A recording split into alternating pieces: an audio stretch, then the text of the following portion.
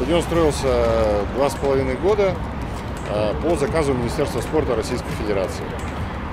Э, Отличительной особенностью нашего стадиона является то, что он встроен в памятник истории архитектуры. Э, Новая арена имплантирована в существующие исторические стены.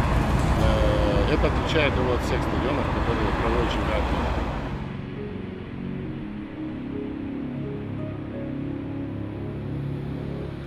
А стадион станет э, домашней ареной местного футбольного клуба «Урал».